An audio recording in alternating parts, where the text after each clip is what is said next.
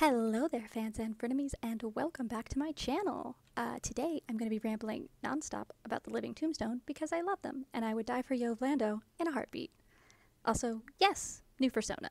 Um, I feel like Nightbite has become less of a persona and more of a character with their own personality. Um, so this is just me, uh, but as a cat. Uh, so this is kind of a format idea I've been really excited to do because I know people really like voiceover on speed paints, but I really hate editing Nate Speaks videos. So this is uh, sort of me mushing them together.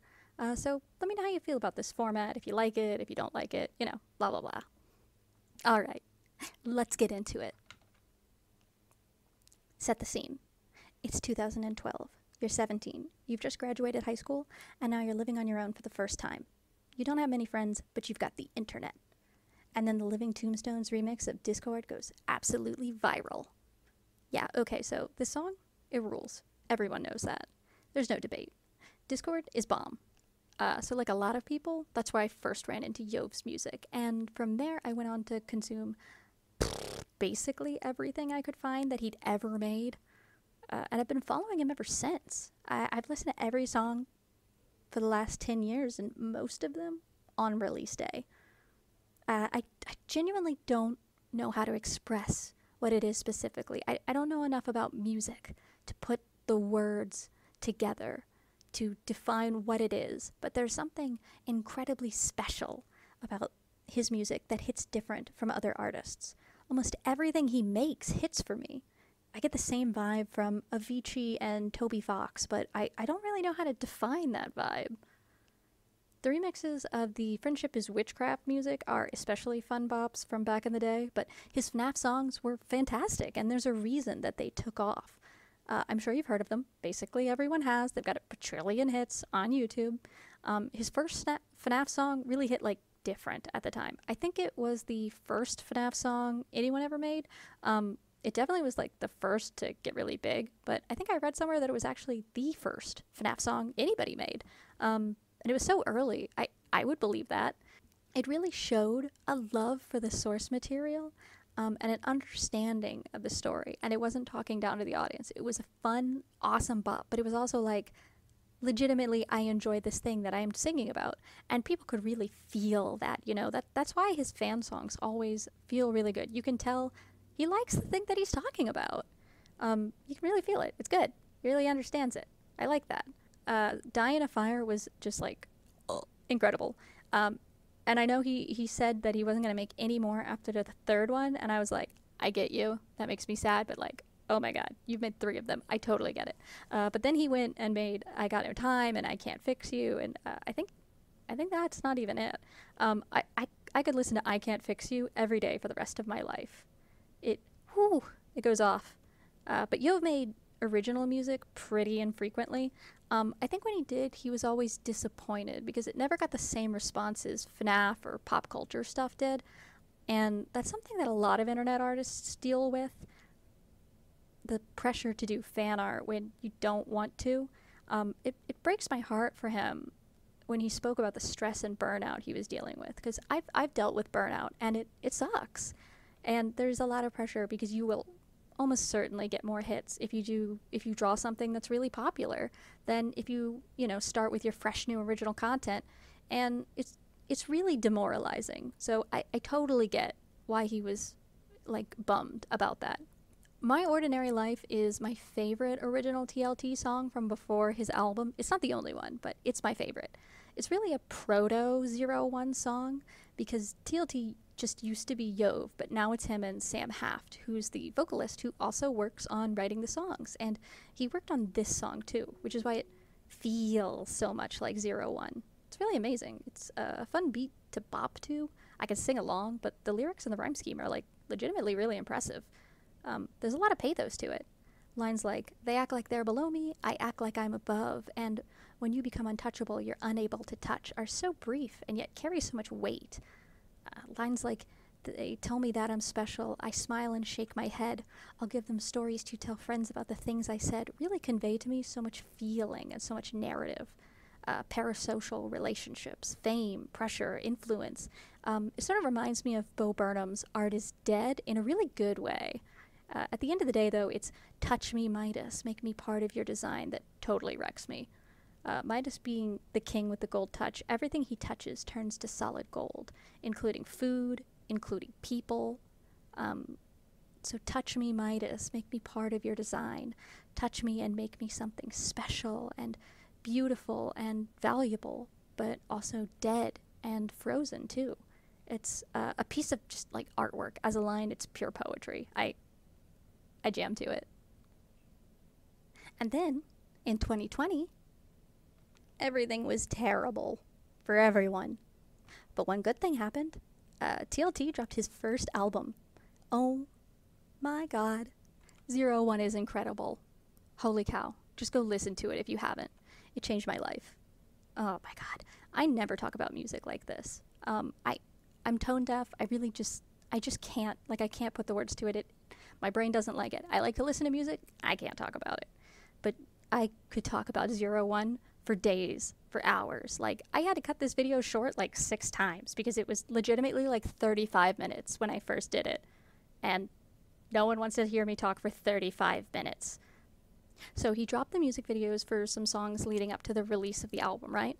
And Drunk was the first one out. And when it came out, there's this little teaser at the end uh, of the last few seconds of Sunburn as a stinger. And I I don't know why, but just those few seconds like wormed their way into my brain and made me insane. I I was like, this is incredible. I where's the rest of this? What is this? Is this a song I don't know about? I thought I knew every song. What is this?